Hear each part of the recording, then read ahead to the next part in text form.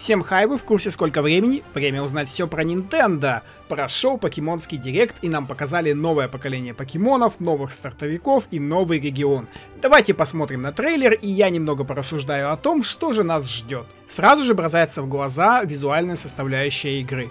Похоже, в новых покемонах используется движок из Let's Go Pikachu Eevee, только заметно подкрутили графончика и сделали рамочки у персонажей, из-за чего игра теперь больше стала похожа на 3DS версию. Вообще она выглядит как 3DS игра в 1080p, и как-то меня раздирают противоречивые чувства. С одной стороны, вроде бы красивенько, классно, здорово, но эти рамочки, что-то в них не так.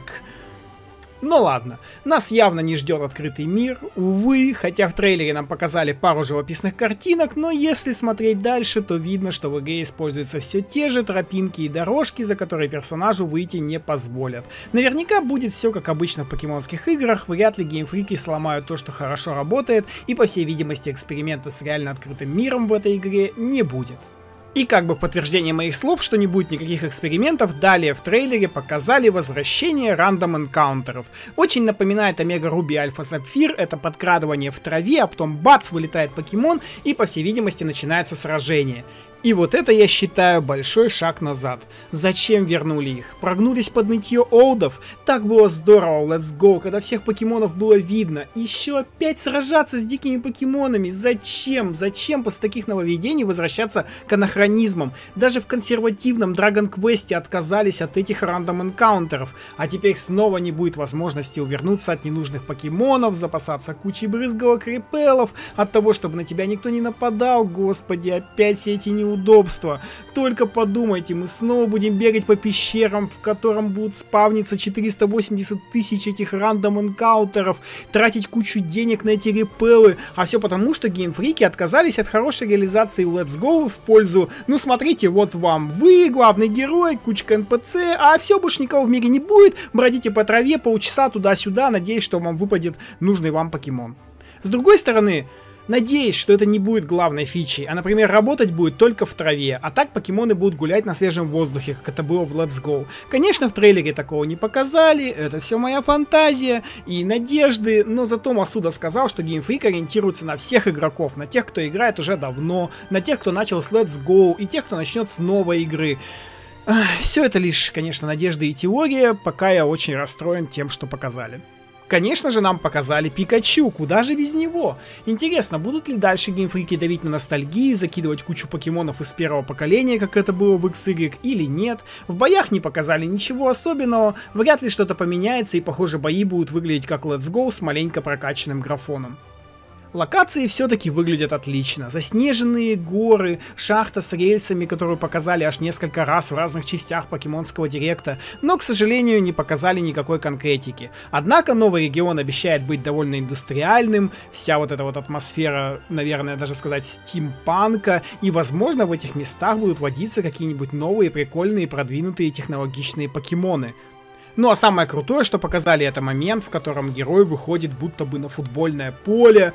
Смотрится очень здорово и заставляет задуматься, может быть будут какие-нибудь новые спортивные покемоны, типа Мачампа из первого поколения.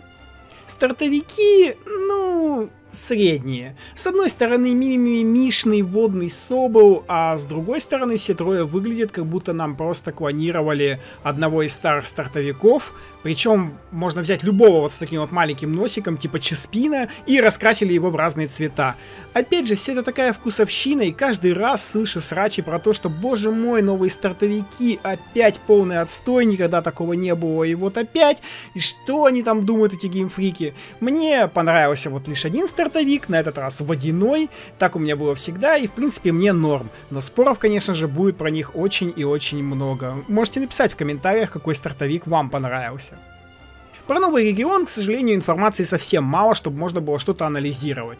Судя по всему, регион основан на Англии, на карте видно три крупных города и несколько деревенек, так что, похоже, в этом плане ничего не поменяется и все будет как всегда. При показе региона нам сообщили, что вернутся гимы, и это снова шаг назад, после ведения триал в Сан-Муне.